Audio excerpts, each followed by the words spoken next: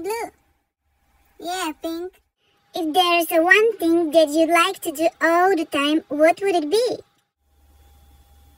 Being my blue self, Pink.